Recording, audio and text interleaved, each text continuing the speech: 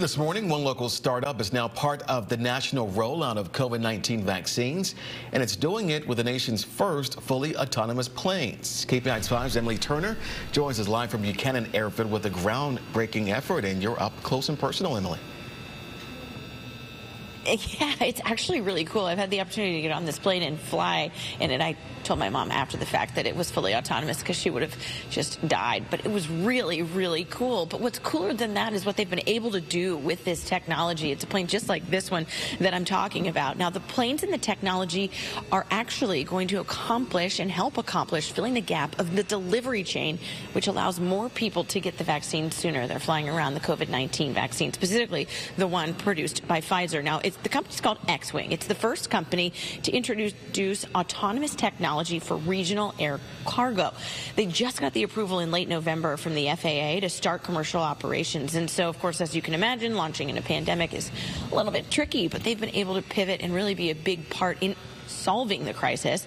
They were able to step up to the plate and help deliver doses of the vaccine and will continue to do so. In fact, their first shipment went out to the Navajo Nation. And because Pfizer's vaccine, the one they're sending, has a limited shelf life and strict storage and security requirements, remember, this is the one that has to be really, really cold.